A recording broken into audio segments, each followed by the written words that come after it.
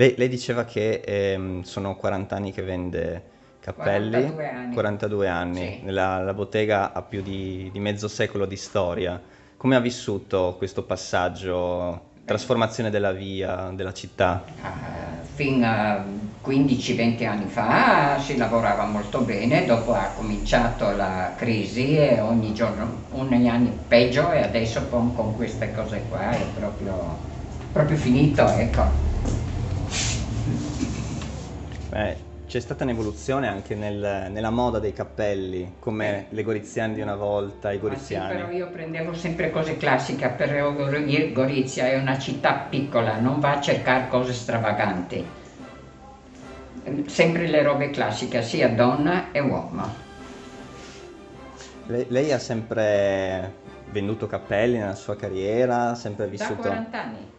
Ma Pri- pri- prima invece? Prima vendevo, avevo il negozio di frutta e verdura a 10 anni e facevo anche altri lavori, ecco.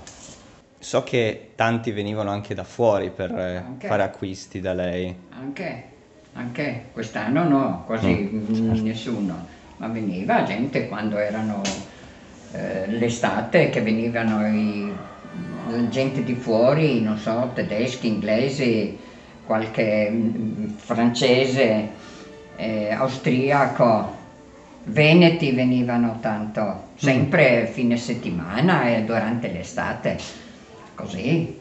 No, no, si lavorava, poi con la ex Jugoslavia si lavorava molto bene, fin 92, finché c'era la Jugoslavia e dopo continuava, però adesso è già un paio di anni che ha cominciato la crisi come dappertutto, sappiamo. Mhm. Ho capito, ho capito. Ehm, c'è un particolare, non so, un aneddoto magari in tutti questi anni di, di attività, che un cliente particolare? Ah beh, sono tanti particolari, è sempre quello. No, no. Clientela molto bella, buona, che tornava, poi era anche quello che, che non comprava, ma non si può mica buttare il fucile, uno viene, misura, prova, guarda, se non gli piace non compra. Io do da provare senz'altro, poi uno decide cosa vuole fare, decide cosa vuole fare, ecco. Tutto lì. Ho capito. Ehm, lei quindi quando chiuderà definitivamente? Non lo so. Mm, prima dell'ultimo dell'anno, ma non lo so ancora. mm, Non è deciso proprio la data, vediamo. mm. Eh, secondo lei si potrebbe fare qualcosa per incentivare anche il via Rastello a tornare si- Non centrale? sa cosa fare, cosa vuole fare.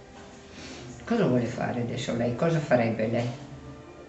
Eh, ho visto che ad esempio quando ci sono gli eventi si riaprono tante Sì, sì, botteghe. ma non era Covid, eh? 19, Mm, in quella volta quando che era che si faceva quelle feste lì, neanche la fiera di Sant'Andrea non sarà quest'anno, neanche Gusti di Frontiera, che ormai era già da tanti anni, quel- veniva tanta gente così, ma anche tanti negozi si sono chiusi, ma nessuno tra i centri commerciali, tra che la gente compra online. online, ecco, online è così, tra che c'è la crisi i soldi non ci sono, eh. Sempre, si- senz'altro si vive, si vende, poi è anche stagionale questa cosa qua, no?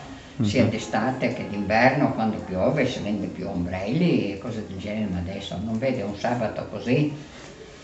Se, andiamo, se torniamo indietro di tanti anni, qua era così, Mm,